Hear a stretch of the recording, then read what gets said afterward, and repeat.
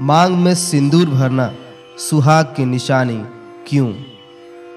विवाह के अवसर पर एक संस्कार के रूप में वधु की मांग में वर सिंदूर भरता है।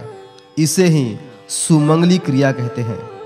इसके पश्चात विवाहित स्त्री अपने पति की दीर्घायु की कामना करते हुए जीवन भर मांग में सिंदूर लगाए रखती है, क्योंकि मांग में सिंदूर भरना हिंदू धर्म की परंपरा के अनुसार सुहागिन होने का प्रतीक माना जाता है। उल्लेखनीय है कि हमारे शास्त्रों में पति को परमेश्वर का दर्जा प्रदान किया गया है।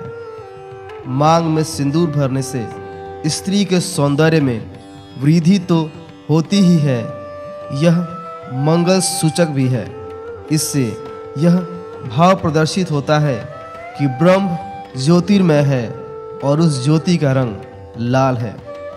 देवी भागवत में भगवती ने स्वयं कहा है कि ब्रह्म और शक्ति मैं एक ही हूँ। हम दोनों मिलकर ही सृष्टि को जन्म देते हैं। देवी शक्ति को लाल रंग प्रिय है। शास्त्रों में विधवा को मांग में सिंदूर लगाने का निषेध किया गया है, क्योंकि सधवा स्त्री को ही पुरुष का संयोग प्राप्त कर जनन शक्ति बरकरार रखने का अधिकार रहता है।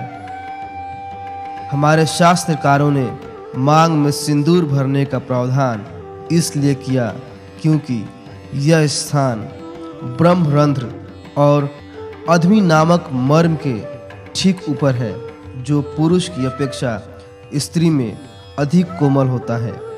सिंदूर में पारा जैसी धातु अधिकता में होने के कारण चेहरे पर जल झुरियाँ नहीं पड़ती।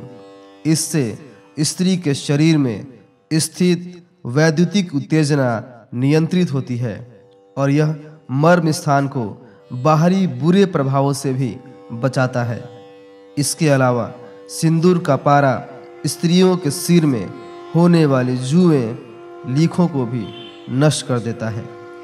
जिन स्त्रियों के सीमंत या भ्रिकुटी केंद्र में यदि नागिन रेखा पड़ी हो तो सामुद्रिक शास्त्र के मतानुसार इसे दुर्भाग्य का सूचक माना गया है।